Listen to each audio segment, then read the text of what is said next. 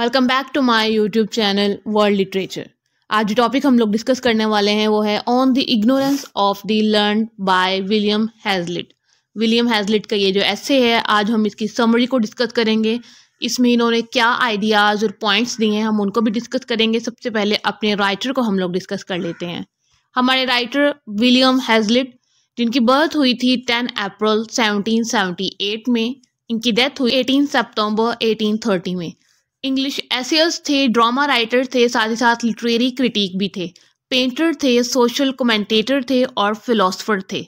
अगर हम लोग इनके फ़ेमस होने की बात करें तो इनको ग्रेटेस्ट क्रिटिक्स और एसियस्ट माना जाता है in the history of the English language में। और इनको उन राइटर के साथ रखा जाता है, जैसे कि सैमुअल जॉनसन और जॉर्ज ऑरवल इन सभी राइटर्स के जो आइडियाज़ हैं, वो बहुत ज़्यादा अथेंटिक होते हैं और इनमें बहुत ज़्यादा एक इंटरेस्टिंग और क्यूरसिटी होती है इनके ऐसे में, क्योंकि ये ऐसे आइडियाज़ देते हैं जो कि हम लोग नॉर्मली ऐसे आइडियाज़ बाकी राइटर्स की राइटिंग्स में नहीं पढ़ते हैं। जैसे कि आज का जो हमारा वर्क है on the ignorance of the learn by William Hazlitt इसमें बहुत यूनिक आइडिया इन्होंने दिया है, अब उसको हम लोग डिस्कस करते हैं। इनका ऐसे है, ये पब्लिश हुआ था 1822 में इन्होंने उस टाइम पे ये लिखा था। उसके बाद अगर हम लोग इसके राइटिंग स्टाइल की बात करें मतलब कि ये ऐसे किस फॉर्मेट में लिखा गया है कि बहुत फॉर्मल और कॉन्वर्सेशनल स्टाइल में लिखा गया है। हमें स्टार्ट पे ऐसा लग, कुछ कोटेशंस दी गई हैं, उसके बाद इसकी जो लैंग्वेज है, बहुत ज़्यादा सिंपल है स्पॉन्टेनियस स्टाइल है। जैसे जैसे हम इसको रीड करते हैं, इसके सेंटेंसेस बहुत ज़्यादा शॉर्ट हैं, इसमें कोई टफ मेटाफर यूज़ नहीं की गई। ओवर ऑर्नामेंटेशन यूज़ नहीं की गई मींस कि इसको बहुत ज़्यादा इसमें इमेजरी लैंग्वेज को यूज़ नहीं किया गया, या फिर मेटाफोर्स को यूज़ नहीं किया गया, इस टाइप की कोई चीज़ इसमें यूज़ नहीं की गई। और इसमें जो एग्जांपल्स दी गई हैं, वो हमारी डे टू डे लाइफ की, इनके डेली रूटीन की जो हमारी लाइफ है, वहाँ से इसमें एग्जाम्पल्स ली गई हैं। ये तो हो गया इसका स्टाइल जो कि बहुत ही फॉर्मल स्टाइल है। अब आते हैं इसकी समरी की तरफ़। अब ये जो ऐसे है, इन्होंने स्टार्ट कैसे किया है? इस ऐसे में इन्होंने डिस्कस किया है कि जो हमारी स्कूल की एजुकेशन है, जो कि हमारा अर्ली टाइम होता है स्कूल में, जिसको हम लोग अपना फॉर्मल एजुकेशन भी कहते हैं। अब वो जो एजुकेशन है, वो क्या करती है? वो हमारे अंदर इग्नोरेंस को पैदा करती है, साथ ही साथ एनिमसिटी को पैदा करती है। मीन्स कि हम एक दूसरे से जो है ना, वो नफ़रत करने लग जाते हैं। अब आप देखते हैं, जब हम लोग अपने छोटे लेवल पे होते हैं, अपनी अर्ली एजुकेशन तक होते हैं। हम कह सकते हैं हम अपनी मैट्रिक एजुकेशन या हमारी जो टेंथ ग्रेड तक जो एजुकेशन है, उसमें क्या हमें सिखाया जाता है?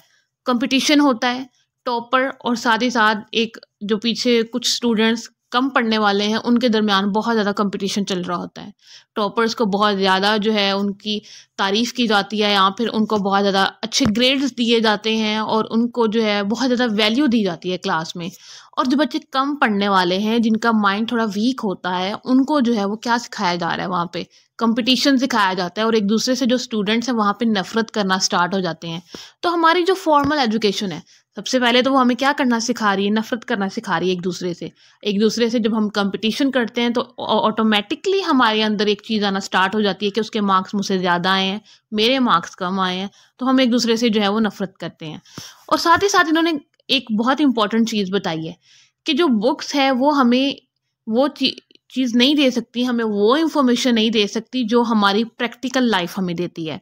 कि जो बुक लर्निंग है कैन नॉट रिप्लेस एक्सपीरियंस कि जो हमारा एक्सपीरियंस है, हम उसको कभी भी अपनी बुक लर्निंग से रिप्लेस नहीं कर सकते। कि हमने बुक्स में ये पढ़ा है, अब उन बुक्स में जो पढ़ने वाली चीज़ों को है, हम प्रैक्टिकल चीज़ों से अगर कंपेयर करके देखें तो जो हमारा प्रैक्टिकल एक्सपीरियंस होगा अपनी लाइफ का, वो हमारे समरी में जो मेन पॉइंट हमारा डिस्कस करने वाला होगा, वो यही होगा कि हम लोगों ने डिस्कस करना है कि जो बुकिश स्टूडेंट्स होते हैं, वो इतने सक्सेसफुल नहीं होते अपनी लाइफ में या फिर जो हमारा अपनी लाइफ का एक्सपीरियंस होता है, हमारा जो फ़र्स्ट हैंड एक्सपीरियंस है लाइफ का, वो ज़्यादा मैटर करता है रादर देन बुकिश होने से। मीन्स कि हम लोग अगर कोई बुकिश पर्सन है तो वो एक लेज़ी पर्सन होगा, उसकी हम सारी करेक्टरिस्टिक्स आगे पढ़ने वाले हैं। तो उसके बाद क्या कहते हैं विलियम हैजलिट विलियम हैजलिट क्या कहते हैं? कहते हैं कि अगर आप लाइफ को अच्छे से अंडरस्टैंड करना चाहते हो, या फिर आप लाइफ को अच्छे से ट्रूली लर्न करना चाहते हो, उसके बारे में कि एक्चुअली में लाइफ है क्या एक्चुअल ट्रू एक्सपीरियंस लेना चाहते हो तो आप सिर्फ़ बुक्स को पढ़ो नहीं, या फिर लाइफ को पढ़ो नहीं बैठ के बुक्स के अंदर। आप उसमें एक्टिवली पार्टिसिपेट करो। अपनी रेगुलर जो आपकी डेली लाइफ है, अगर आपकी स्कूल लाइफ भी है तो आप उसमें भी एक्टिवली पार्टिसिपेट करो। ना कि सिर्फ़ आप एक लाइब्रेरी पर्सन बन के रह जाओ, या फिर आप सिर्फ़ बुक्स के साथ कनेक्ट रहो।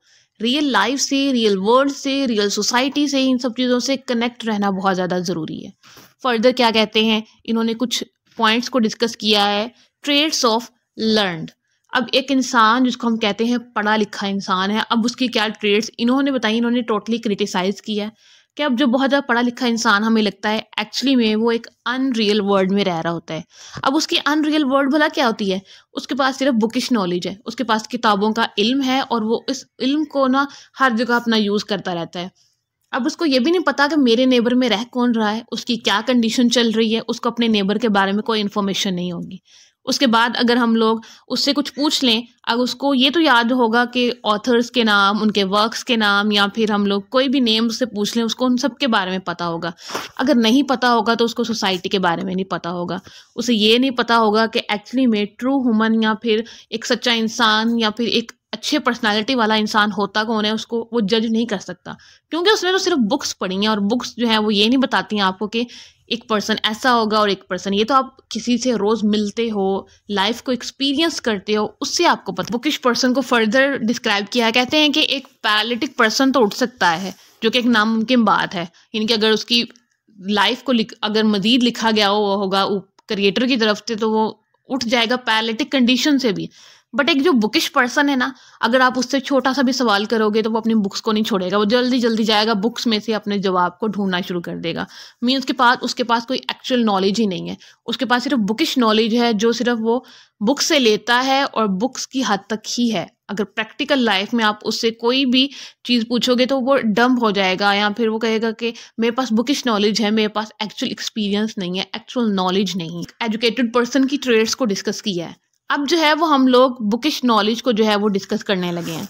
कहते हैं कि जो बुकिश नॉलेज होता है ना, ये वो फुली डेफिशेंट होता है ऑलमोस्ट इन एवरीथिंग कि वो किसी भी चीज़ के लिए कंप्लीट नहीं होता है, या फिर कोई भी हमारी जो कॉमन सेंस है, ये उसको फुलफिल नहीं कर सकता है।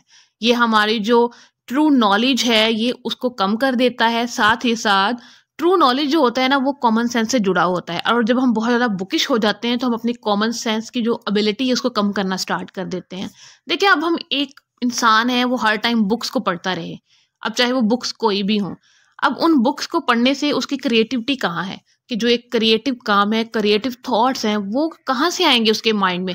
क्योंकि वो जो नॉलेज ले रहा है तो वो किसी दूसरे इंसान का नॉलेज है ना? राइटर ने लिखा है, उसने जो लिखा है, आप वही पढ़ रहे हो एज अ रीडर आप अपना परसेप्शन तो उस पर कोई दे ही नहीं रहे। आप अपनी थिंकिंग तो कर ही नहीं रहे। आपके अपनी थॉट्स तो आ ही नहीं रहे आपके माइंड में। मीन्स कि आप टोटली किस पे डिपेंड कर रहे हो? बुक्स पे। और बुक्स जो हैं, वो हमारे नॉलेज को लिमिट कर देती हैं अकॉर्डिंग टू विलियम हैजलिट अब फर्दर क्या कहते हैं? इन्होंने अपने ऐसे में एक और चीज़ को बहुत ज़्यादा, अपने ऐसे के एंड में एक बात की है। कहते हैं कि शेक्सपियर जो है ना, वो बहुत ज़्यादा स्कूल से अटैच नहीं थे। या फिर उनके पास स्कूल का नॉलेज नहीं था या फिर बुकिश नॉलेज है, आप वो कह सकते हैं। कहते हैं कि अगर आप ह्यूमन जीनियस को जानना चाहते हो, अगर आपके अंदर ये क्यूरसिटी है कि आपने ह्यूमन जीनियस को अंडरस्टैंड करना है तो आप शेक्सपियर को जाके पढ़ें या फिर उनको रीड करें या उनको लाइफ को उनको देखें। अब जो जिसने ह्यूमन जीनियस को लेना है, वो तो शेक्सपियर को जाके पढ़ेगा। और जिसने सिर्फ़ और सिर्फ़ बुक्स की लर्निंग की बात करनी है या फिर कोई ऐसी बात करनी है कि जो शेक्सपियर को अगर देखना है कि वो उसने बहुत ज़्यादा एजुकेशन नहीं हासिल की या फिर उसका जो एजुकेशनल बैकग्राउंड है वो बहुत ज़्यादा हाई नहीं है तो वो सिर्फ़ उसके कमेंटेटर्स को जाके पढ़े कि अगर आपने जीनियस इंसान देखना है तो वो शेक्सपियर को पढ़कर आप देख सकते हैं। और आप, अगर आपने सिर्फ़ एक बुकिश पर्सन को देखना है तो आप उन शेक्सपियर पे जो कमेंट्स करते हैं उनको जाके रीड कर लें। तो ये इन्होंने यहाँ पे एग्ज़ाम्पल दी है। उसके बाद इन्होंने आइडलर एट स्कूल आइडलर वो होते हैं जो कि अपना टाइम वेस्ट करते हैं स्कूल में। अब यहाँ पर इन्होंने आइडलर के बारे में बात की कहते हैं कि कुछ ना जो किड्स होते हैं या फिर स्टूडेंट्स होते हैं, कुछ बच्चे ऐसे होते हैं जिनका माइंड थोड़ा डम्प होता है वीक होता है, वो उन चीज़ों को अंडरस्टैंड नहीं कर सकते। वो इन चीज़ों को अंडरस्टैंड चले नहीं कर सकते। बट जो हमारा एजुकेशनल सिस्टम है, वो भी डम्प है। वो डम चीज़ें अंडरस्टैंड नहीं कर सकते हो और वो जो स्कूल में डम चीज़ें पढ़ाई जा रही हैं, वो ऊपर से डम्प है। मीन्स के डम्प इंसान एक डम चीज़ को कैसे समझेगा? यहाँ पर उन्होंने आइडलर की फेवर में बात की है। उसके बाद इन्होंने कहा है कि एक जो ग्रेटेस्ट जीनियस पर्सन होता है, वो हम देखते हैं, वो अपनी स्कूल लाइफ में कॉलेज लाइफ में यूनिवर्सिटी लाइफ में बहुत ज़्यादा ग्रेटेस्ट मान माना जाता है। टॉपर उसको कंसीडर किया जाता है। बट प्रैक्टिकल लाइफ में जब वो आता है तो उसके पास ना कोई जॉब होगी, ना उसका कोई करियर होगा, ना कोई प्रोफेशनल लाइफ होगी।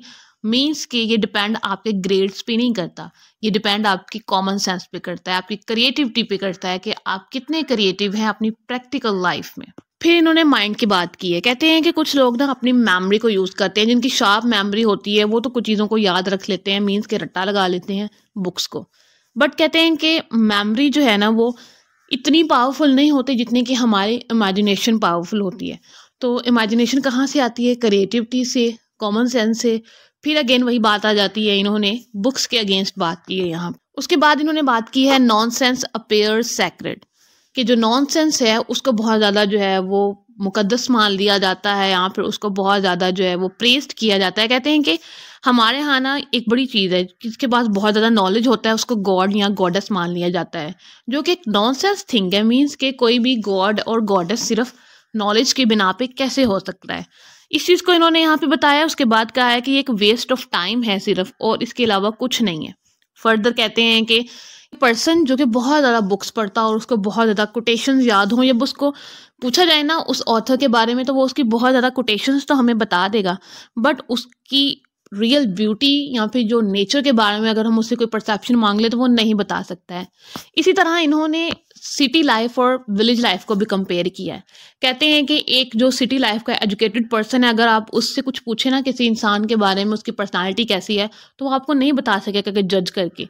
बट आप एक विलेज मैन से पूछे ना, वो चाहे इलिटरेट है, उसके पास एजुकेशन नहीं है उसके पास किसी को जज करने का परसेप्शन फिर भी ज़्यादा होगा। उसके पास ज़्यादा नॉलेज होगा, उसके पास कॉमन सेंस है क्रिएटिविटी है, वो अपने एक्सपीरियंस की बेस पे जो है वो बता देगा कि ये पर्सन ऐसा है, इसमें ये चीज़ें हैं और ये चीज़ें क्वालिटीज़ हैं या फिर उसमें ईवल और जो गुड है, उसके अंदर फ़र्क करने की जो एक सेंस है, वो होती है एक विलेजर में rather than a city man कि सिटी मैन जो है, वो इस चीज़ में भी डिफ्रेंशिएट नहीं कर सकता है। तो ये था हमारा ऐसे जिसके अंदर इन्होंने एक्चुअली में कॉमन सेंस की बात की है कि उसको इम्पोर्टेंस देनी चाहिए। हमें जो बुकिश नॉलेज है, उस पर डिपेंड नहीं करना चाहिए।